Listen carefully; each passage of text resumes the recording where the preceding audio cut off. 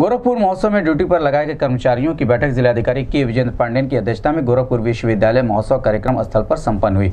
बैठक में SSP doctor Sunil Gupta ADM प्रशासन प्रभुनाथ एसडीएम सदर प्रथमेश कुमार एसपी सिटी विनय कुमार सिंह सहित संबंधित विभागों के अधिकारी मौजूद रहे।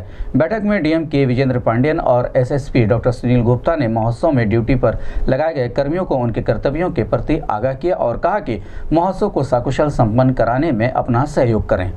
उसको भी लगेगा कि ये आकस्मिकता की स्थिति है इधर से हमें बाहर निकलना है। चार घंटे का एक कार्यक्रम है तो अपना वहीं पे खड़े रहेंगे और पास आन करा देंगे पंडाल के बाहर भेजेंगे। तो ये ज़रूर जो है जिनकी ड्यूटी लगी उन्हीं से ना अभी। वाला है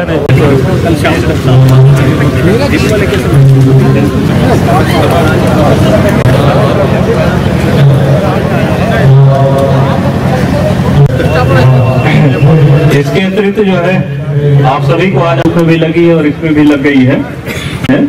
उनको एक दिन इसमें काम करना। इसके अतिरिक्त कुछ लोगों का दो दो जगह तीन चार। आप लोग, क्योंकि अब पूरी आप कि गेट नंबर पाँच गेट नंबर छह का भी साइनेज नहीं लगा है, लेकिन मोटा मोटा है कि जो पंडाल का जो उत्तरी छोर है, वहाँ पे दो जगह हम लोग चार दीवारी तोड़े हैं। यदि इधर की तरफ़ से आएँगे तो जो पहला वाला चार दीवारी जहाँ तोड़ा गया है, वो गेट नंबर छह है, उसके बाद वाला गेट नंबर पाँच है। इन दोनों बजे साढ़े चार, पाँच बजे पुनः आपको आ जाना है। मैक्सिमम आपको पाँच बजे तक आ करके अपने अपने जहाँ पे आपकी ड्यूटी लगी है, वहाँ पहुँच जाना है। यदि आपकी ड्यूटी ब्लॉक एक में है तो ब्लॉक एक में पहुँचना है। ब्लॉक दो में यदि आपकी है तो ब्लॉक दो में पहुँचना है। या फिर जो आपका इमरजेंसी गेट बीच बीच में रखा गया है, यहाँ पे यहाँ पे, कुछ लोगों की ड्यूटी यहाँ लगी हुई है तो उनको वहाँ पे पहुँचना है। मेरा मानना ये है कि सिविलियंस को कंट्रोल करना पुलिस का काम है, लेकिन इस तरह के फ़ंक्शंस में सिविलियन को कंट्रोल करना सिविल अथॉरिटी का ज़्यादा काम है। हमसे ज़्यादा वो आपकी बात मानेंगे। अगर आप दो लोग भी खड़े होकर के उनको गाइड करेंगे तो बस हमारे जो जवान भी होंगे ना, उनसे ज़्यादा उनकी बात मानते हैं। तो अंततः अगर सफल होगा तो प्रशंसा डीएम साहब के खाते में जानी है। हमारे जो नेता हैं, जो हमारे ज़िले के राजा हैं, और सेनापति को नहीं मिलता है कुछ भी।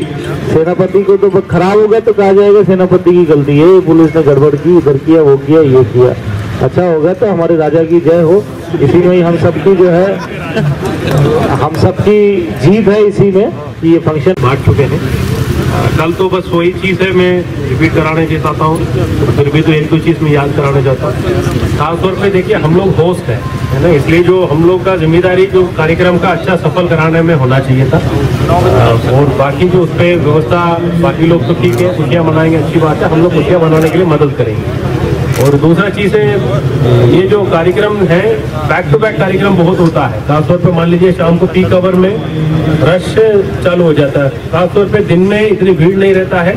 तब शाम होते रहती है तो फिर पाँच बजे छः बजे के बाद भीड़ तो उठ पड़ेगा। अब उस पर यह दिक्कत होती है कि पहले कार्यक्रम में आने वाले वो बैठे रहते हैं, वो गाली नहीं करते हैं। ये भी ध्यान रखना है, ताकि हम लोग जो किस कार्यक्रम में पास दिए हैं वो केवल रिस्ट्रिक्टेड लोग के लिए पहले पास जारी हो गया।